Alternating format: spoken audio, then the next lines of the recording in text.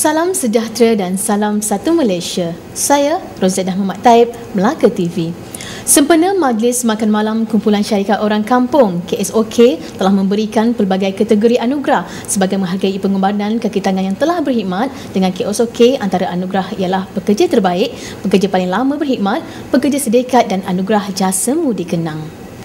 Pengarah Urusan Kumpulan Syarikat Orang Kampung KSOK Habibul Ajmi Manggar berkata, jenama orang kampung yang telah melalui pelbagai transformasi kini sedang berusaha mengukuhkan kedudukannya dengan menebusi pasaran beberapa negara luar termasuk di rantau ASEAN.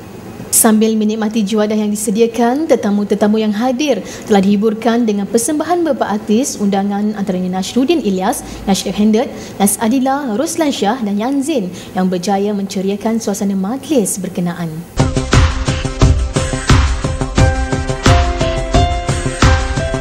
Berita selanjutnya, Seorang penolong pegawai tanah grade N17 di unit pengambilan tanah Jabatan Ketua Pengarah Tanah dan Galian Melaka didenda RM8,000 oleh Mahkamah Seksyen Melaka.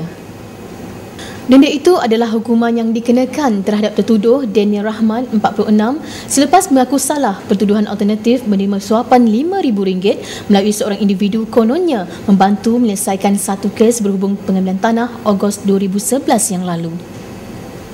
Prosiding berlangsung di hadapan Hakim Ahmad Sazali Omar, pihak pendakwaan diwakili Pegawai Pendakwa Suruhanjaya Pencegah Rasuah Malaysia SPRM Muhammad Haikal Ismail sementara tertuduh diwakili Peguam Muhammad Mustafa.